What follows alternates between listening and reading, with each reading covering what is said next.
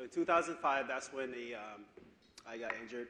Um, no, we got into the, uh, the situation in Iraq where that was my second tour. And uh, the incident that, that happened was when was eight seconds delay from hitting our Humvee. So you're in a convoy, right? Yes, There we're in three, a convoy. Three Humvees. Yes. And you are in the first one. The first Humvee, yeah, Okay. first Humvee. So we were passing, passing where the, um, the IED was at. The second one was the one that got hit. So it was like eight seconds, eight seconds delay. Um, so when we got hit, I uh, immediately got out of the vehicle, and um, my commander and the, uh, our other sergeant they dispersed. They had to secure the area. My my goal was to get to where the IED was at. In my mind, you cannot do that if you're in a, a situation like that. You have to take cover because there's always going to be a secondary attack. But um, I got the, the first aid kit. I ran into where the Humvee's at. I, all I saw was smoke, and the Humvee was sitting in the hole. And when I got closer, because my mind was there's no survive survival. Um, when I got there, um, there was no door, no tire. The the gunner guy was laying on the uh, hatch, and he was my my roommate. The guy that was sitting at the uh, passenger side, he was one of our sergeants, um, screaming for help. Um, his leg was literally about to, you know, if you see a, a leaf being, you know, shredded, that's how the, the, the, his foot, his leg looked. So immediately I grabbed him, you know, to save his life because I saw it was so many, uh, so much blood that he lost. Put him down, um, and uh, so we, we, we did the treatment and everything like that, and we gave him the tourniquet to stop the bleeding. I gave him the IV. Our medic got there, and um, so right there and then, I was the only commander in that area in that time because my commander was out, you know, um, you know, looking for this guy for the trigger man. So what I did was I um, put him on the litter, and uh, I was telling the, the, the soldiers that were around to, you know, help me carry him because we have to rush him to a, an open area where the, the chopper can land. So we got to, um, we couldn't, because it was kind of far away where we were at, and there was no open area because the, the main road and then the canal. And the main road, main road was kind of like far away. So we had to uh, carry him or put him on the Humvee. So all these things are going on where I have to make the decision right there and then. Put him on the Humvee, rush him over there. And when we got to the, to the part, there was no area. There was no open area to, to, um, to get it. So I, I kind of like look around. The chopper was already there. All they did was, you know, um, hovering around, just trying to find, waiting for us to give them the clear to land. Um, so that area where we got him, um, I had to literally go over there, try to, you know, make everything clear. Carrying him, we got there, popped the smoke. That's when the, uh, the chopper came down and landed. We got him in. We got the driver. We got the, the, the gunner guy in there. Um, but by seeing that, you know, his leg, one of the fastest guy in our platoon, at his worst, you know. Uh, I think that's, that's what, a, and that was the incident that, that kept me from moving forward because I kept reaching back to it. I kept blaming myself for it because when we, before we came out of that, that convoy, um, I saw an Iraqi digging. And my mind was, it was my fault that I didn't tell the commander not to go left, but go right. Yeah? So it, it was all those, those, those things that I had in my mind that um, I held inside of me. I couldn't, I couldn't let it go up until recently. So, And we're going to talk about that. yes, we're going to talk about that. Yes. So you continued to serve even Yes. after this incident. Right. And you finally made your way back home. Right. Uh, you retired, but you ran into some problems. Yes. Some pretty scary situations took place, uh, and you had your family worried because when you came back, of course, uh, you had you had PTSD. Yes. And I don't know if people realize um, how Post-traumatic- real. post-traumatic Yes, and how real that could be yes. uh, to affect people's lives. So uh, you came back home and you had some some crazy experiences trying to get back into life. Can you share us a little bit about about those things? Wow. So I came back. Um, my second tour, I, I didn't know I had it.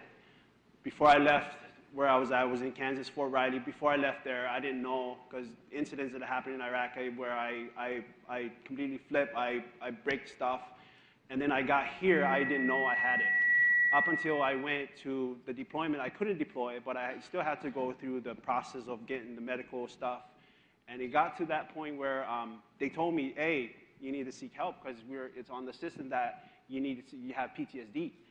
So when I, I started doing all these things and, and I had uh, some major episodes that, that happened then where little things that I would flip and I would start digging holes.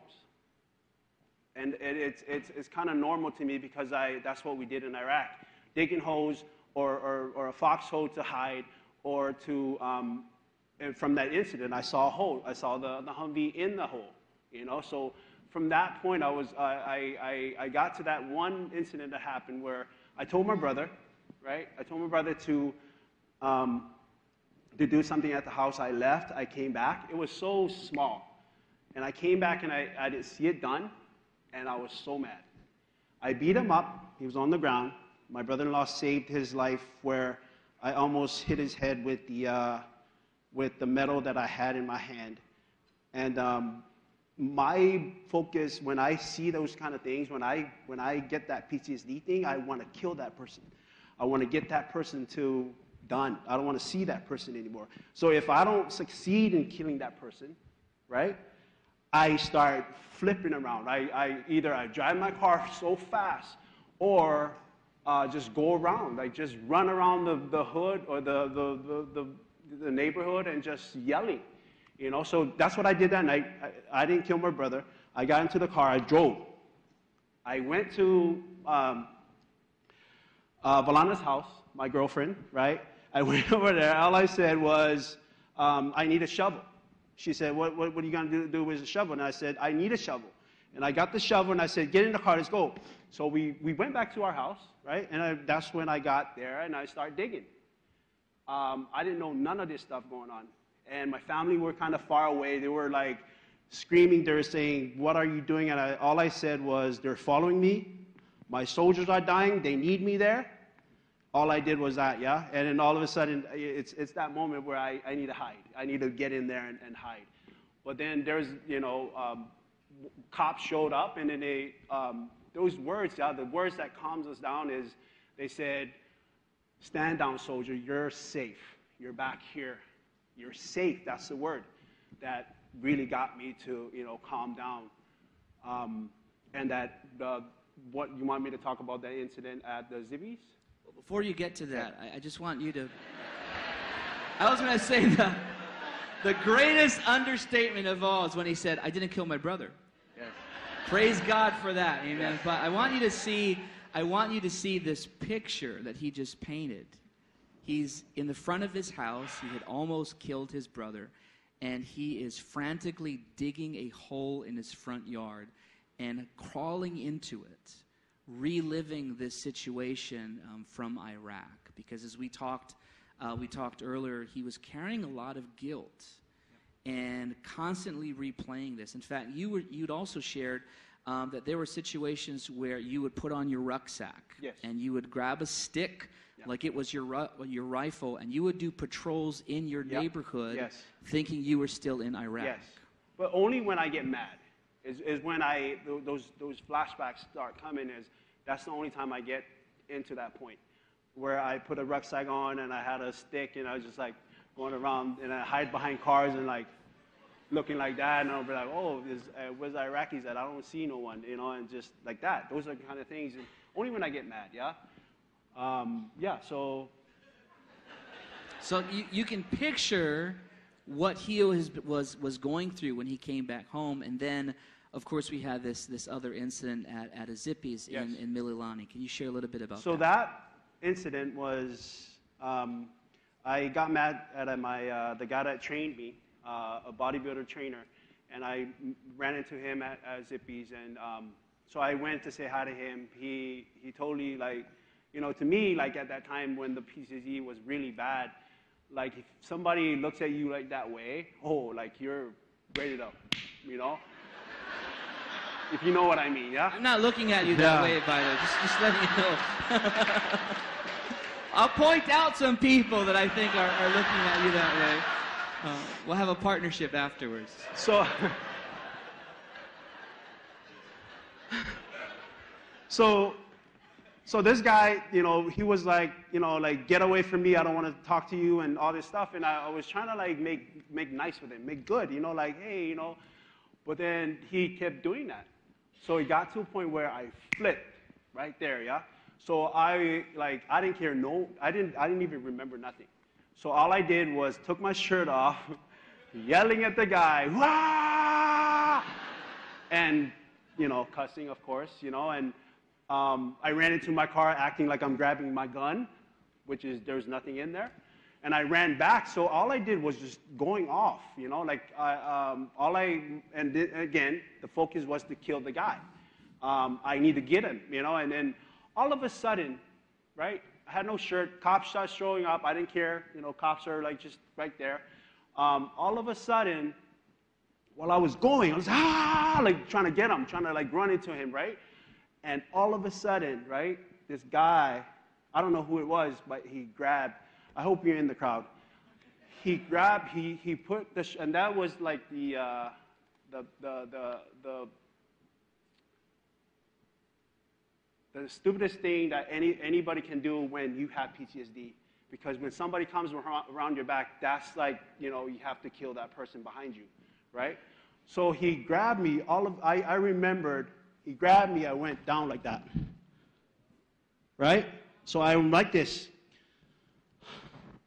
And this guy came around from, you know, the back of my ear and he said, brother, do you mind if I pray for you? just want to let you know that God loves you. And this ain't worth it. So I remember going like this, my head just like this. All of a sudden, he started praying.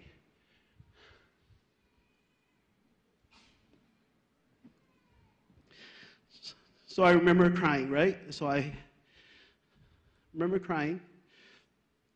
All of a sudden, he, he picked me up. So he picked me up, he sat me down like this, and he gave me water, gave me pastries. And what he said was, What is your name? Where are you from? And all of a sudden he said, um, He invited me to church. He gave me a card. He said, Call me. Call me when, um, call me tomorrow, because tomorrow's Sunday. Call me um, so he can visit our church here in the theater and that was in Mililani. Word of Life Mililani. Word of Life Mililani. So I didn't know. I, I, I, I hugged the guy. That was the last time I saw him. I didn't even see him anymore. Like, but then I never knew it was a person from here, from Word of Life. I still don't remember his name. There was two guys that came. They prayed, and they shared the name of, of the name of Jesus and that healing in my, you know, in me. Um, and that was it. Now he invites you to church. Yep. Yeah, that's by the grace of God. Uh, he invites you to church.